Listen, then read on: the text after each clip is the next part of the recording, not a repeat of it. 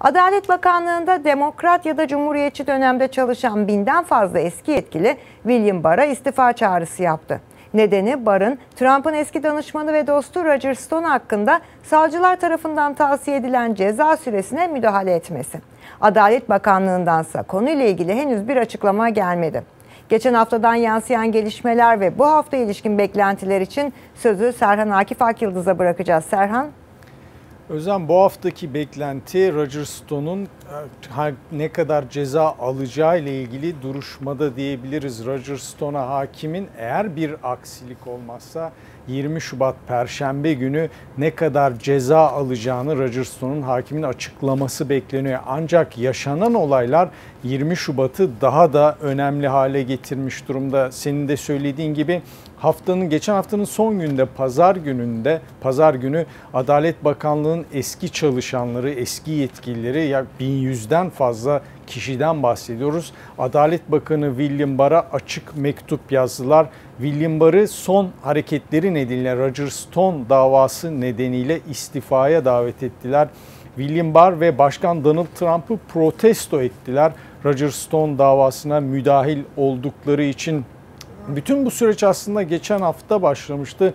Geçen hafta Roger Stone davasına bakan savcılar ki 4 savcıdan bahsediyoruz. Roger Stone'la ilgili 7 ila 9 yıl arasında değişen hapis cezası istemişlerdi. İşte ne olduysa ondan sonra oldu. Başkan Donald Trump devreye girdi. Twitter mesajından Roger Stone'a istenen cezanın çok fazla olduğunu belirtti. Bunun adaletli olmadığını söyledi. Daha sonra Adalet Bakanlığı devreye girdi. Başkan Donald Trump'ın tweetlerinden sonraki Adalet Bakanlığı bunu tamamen tesadüf olarak niteliyor. Adalet Bakanlığı kendi savcılarının e, Roger Stone için uygun gördüğü cezanın fazla olduğunu belirtti. Bununla birlikte bir ceza tavsiyesinde bulunmadı hakime, davaya bakan hakime. Ama bunu belirtti ki bu belirtme de e, savcılar için bardağı taşırdı diyebiliriz. Roger Stone davasına bakan 4 savcı davadan çekildi. Hatta savcılardan bir tanesi Adalet Bakanlığı'ndan istifa etti. Bütün bu gelişmeler yaşanırken Adalet Bakanı William Barr kameraların karşısına geçti ki bu da çok sık rastlanan bir durum değil. ABC televizyonuna açıklamalarda bulundu. Başkan Donald Trump'ın attığı tweet mesajlarının, sosyal medya mesajlarının işini yapmasını imkansız hale getirdiğini bekledi, e, imkansız hale getirdiğini söyledi ki bu açıklaması oldukça yankı buldu Amerikan kamuoyunda. Ancak hemen daha sonra New York Times gazetesi e, William Barr'ın bu açıklamayı yapmadan önce Başkan Donald Trump'la görüştüğünü ve nasıl bir açıklama yapacağını Başkan Donald Trump'a anlattığını aktardı okuyucularına. William Barr aslında Amerikan kamuoyunda göreve geldiğinden bu yana tartışmalı bir isim diyebiliriz. Özellikle de 2016 e, seçimlerini soruşturan Trump'ın seçim ekibiyle Rusya arasında işbirliğini, gizli işbirliği olup olmadığını soruşturan Robert Mueller'ın raporunu sunuş şekliyle oldukça fazla eleştirmişti.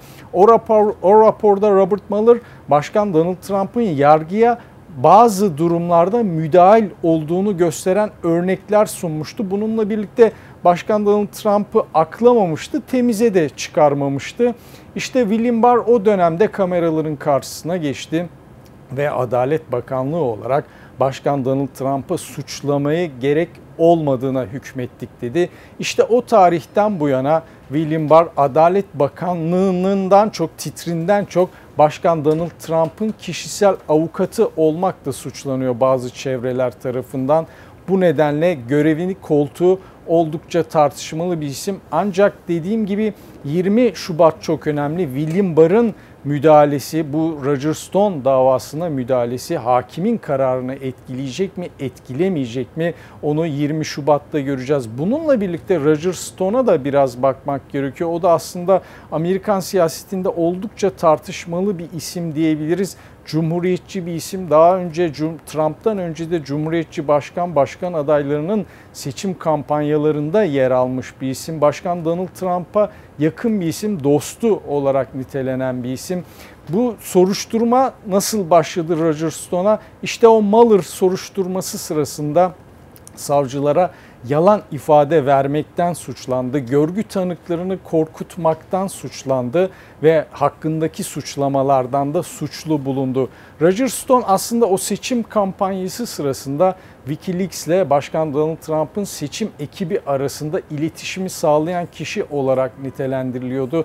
Hatırlayacaksın Wikileaks 2016 seçimlerinden önce, başkanlık seçimlerinden önce Demokrat Parti'nin e-mailleriyle gizli yazışmalarını, e-maillerini basına sızdırmıştı Wikileaks. İşte o iletişimi seçim kampanyasıyla Wikileaks arasındaki iletişimi sağlayan kişi olarak nitelendiriliyor.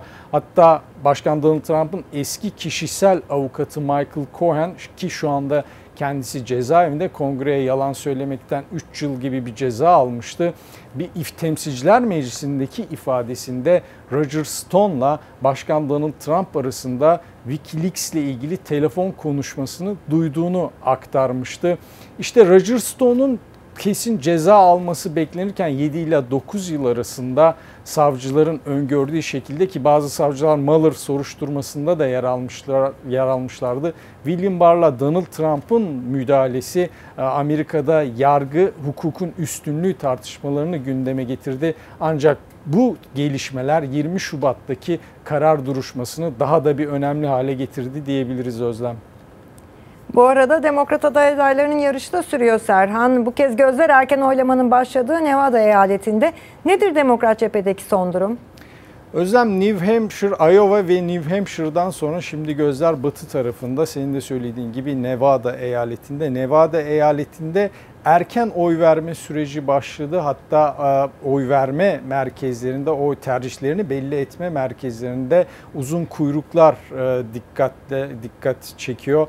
Nevada önemli bir eyalet oldukça özellikle Joe Biden için oldukça önemli diyebiliriz. Çünkü Joe Biden ön seçimler başlamadan önce e, demokrat aday adayları arasında öne çıkan isimde anketlerde lider isimdi diyebiliriz. Ancak Iowa ve New Hampshire'da aldığı yenilgiler Nevada eyaletini kendisi için daha da önemli hale getirdi. Son yapılan anketlere göre Joe Biden birinci gözükmüyor Nevada'da. Nevada'da birinci gözüken isim New Hampshire'da olduğu gibi yine Bernie Sanders. Joe Biden hemen arkasından geliyor anketlerde. Bu da ol, önemli diyebiliriz Biden için. Çünkü daha önce New Hampshire ve Iowa'da ikinciliğe de yükselememişti.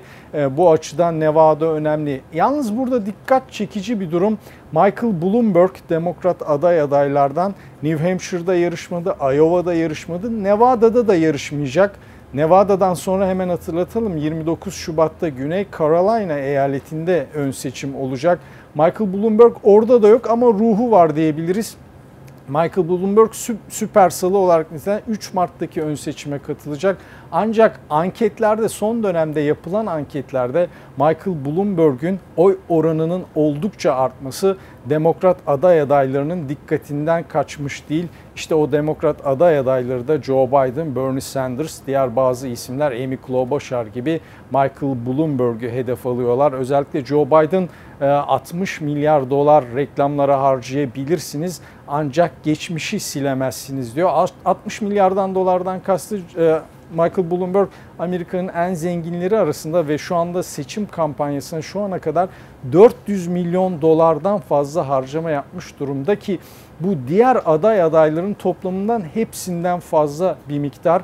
Joe Biden geçmişinizi silemezsiniz diyerek de Michael Bloomberg şu sıralarda geçmişiyle ilgili eleştirilerin hedefinde e, New York Belediye Başkanlığı döneminde durdur ve ara politikasını e, hayata geçirmişti ki bu durdur ve ara politikası kentteki şiddet oranını azaltmaya yönelikti. Ancak bunun daha çok azınlıklara hedef aldığı, siyahları hedef aldığı belirtiliyor bu politikanın ve bu nedenle eleştiriliyor e, Michael Bloomberg. Michael Bloomberg nereye gitse seçim kampanyasında bununla ilgili eleştirilerle karşılaşınca özür diliyor. Geçmişte hata yaptığını belirtiyor. Ancak sadece bu değil yeni dönemde özellikle Washington Post gazetesi Michael Bloomberg'ün e, özellikle kadın çalışanlara yönelik e, sarf ettiği sözlerle ilgili hakkında geçmişte şikayetler olduğunu gündeme getirdi ki bu Michael Bloomberg'ün seçim ekibi tarafından e, yalanlandı. Michael Bloomberg'ün geçmişinde patronluğu döneminde kadınlara yönelik kötü ifadeler kullanmadığı belirtildi. Nevada'da bütün aday adayları bütün demeyelim Michael Bloomberg dışında diyelim aday adayları var güçleriyle kampanyalarını yürütüyorlar. 22 Şubat'ta son oy kullanma olacak ve Nevada'daki sonuçlar 22 Şubat'ta büyük ihtimalle Iowa'daki gibi bir aksilik çıkmazsa o gün netleşecek ve Bernie Sanders'ın yine büyük bir sürpriz olmazsa Nevada'dan birinci olarak çıkması bekleniyor. Joe Biden'ın ardından ikinci gelmesi bekleniyor. Peki bir hafta sonra Güney Carolina'da nasıl bir tablo bekleniyor? Orada durum tersine dönüyor biraz.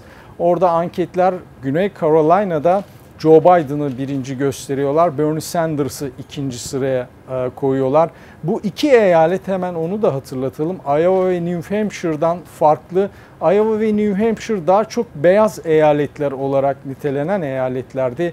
İşte Nevada'da ve Güney Carolina'da çeşitliliğine dikkat çekiliyor. Siyah nüfusun olduğu, Latin nüfusun olduğuna dikkat çekiliyor ve bunun da Joe Biden'ın şansını arttırdığı vurgulanıyor.